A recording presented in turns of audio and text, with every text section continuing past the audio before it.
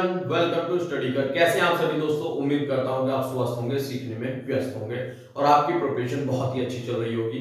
तो आपके इसी तैयारी को आगे बढ़ाते हुए मैं आपके लिए ये सीरीज़ कंटिन्यू कर रहा हूँ। आज क्वेश्चन नंबर टेन लेकर आया हूँ एसएससी मैथ्स की सीरीज़ है। जैसा कि मैंने आप सभी को इसमें बता रखा है कि इस सीरीज़ में जो भी क्वेश्चंस होंगे, वो आपके एसएससी के सभी एग्ज़ाम जो भी फॉर्मेट होते हैं एग्ज़ाम के, उनसे रिलेटेड होगी। और आज जो मैं क्वेश्चन लेकर आया वो आपका व्रत का क्वेश्चन है। एसएससी सीजीएल 2020 प्री का एग्ज़ाम हुआ था, जो अगस्त में हुआ था। तो 13 अगस्त, ये सिर्फ़ शायद सेकंड का या फ़र्स्ट का है, क्योंकि 13 अगस्त को पेपर जो हुआ था, दो शिफ्टों में। उन्हीं में से मैंने क्वेश्चन लिया है, ये व्रत का क्वेश्चन है।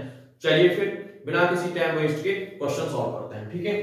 तो देखिए 21 सेंटीमीटर लंबी, एक जीवा है आपकी, ठीक है? और व्रत के अंदर बनी हुई है, ठीक है? तो मैं पहले व्रत बना लेता हूँ, ठीक है? ये आपका डायग्राम बन गया इस तरीके से व्रत, ठीक है? कंप्लीटली नहीं बना है व्रत, लेकिन आप व्रत मान सकते हैं, ठीक है? चलिए फिर, अब बात करते हैं, इसमें आगे बोल रहा है कि व्यास। आप सभी को पता है बेसिक सी चीज़ है कि जो आपका व्यास होता है, वो आपका रेडियस यानी कि त्रिज्या का दो गुना होता है।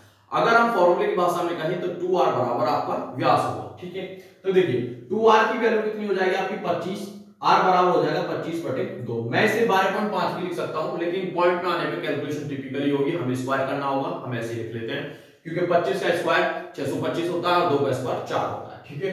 तो देखिए, ये आपका यहाँ पे सेंटर हो जाएगा केंद्र। अब केंद्र जो होता है, वो आपका व्यास को कंप्लीटली दो भागों में डिवाइड कर देता है। तो देखिए क्या हो जाएगा? पच्चीस बटे दो। यानी कि पच्चीस बटे दो हो जाएगा, ठीक है?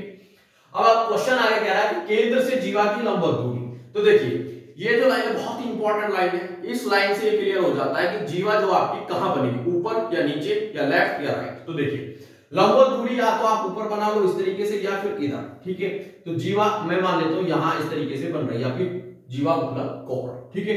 तो देखिए, जो कोड है वो आपकी 21 सेंटीमीटर की है। सेंटर से बन गया सेंटर यानी मिड पॉइंट तो यानी कि ये जो लंबवत दूरी होगी, ये हाफ़ कर देगी आपका 21 one upon two twenty one upon two ठीक है? अगर मैं इस लाइन को यहाँ मिला दूँ इस तरीके से तो ये भी रेडियस होगी, क्योंकि ये भी रेडियस है, ठीक है? तो ये आपका एक राइट एंगल ट्राइंगल बन गया, जिसे मैं बाहर निकाल देता हूँ समझाने के लिए। यह है आपका ओ ये ए मान लेता हूँ मैं, ये बी ठीक है? तो आपको ये दूरी निकालनी है, ठीक है?